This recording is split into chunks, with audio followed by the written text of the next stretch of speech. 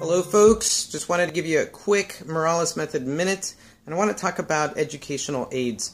And um, some of you have actually seen in past classes how I've used this um, plastic vertebra to show uh, techniques and, and what happens with spinal mechanics in my advanced neckwork classes. And over the years I moved on and moved kind of away from this uh, um, thing to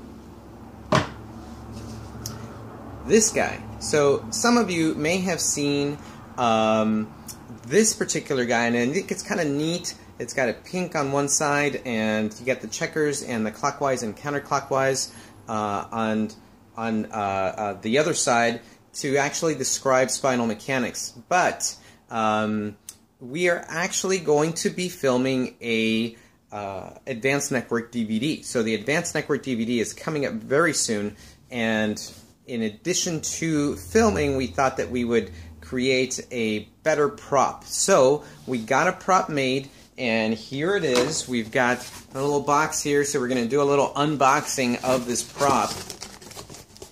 We, uh, we actually got it 3D printed and hand painted, so it's pretty exciting. So here we have the 3D print prop, and it got hand painted pink, and it's got blue and red to signify spinous process and transverse process, and the clockwise and counterclockwise or anti-clockwise uh, right in here in the body of the vertebra. So I think it's pretty neat. I'm really excited about using it for uh, the Advanced Neck Work DVD coming up, and also you'll be seeing it in other classes.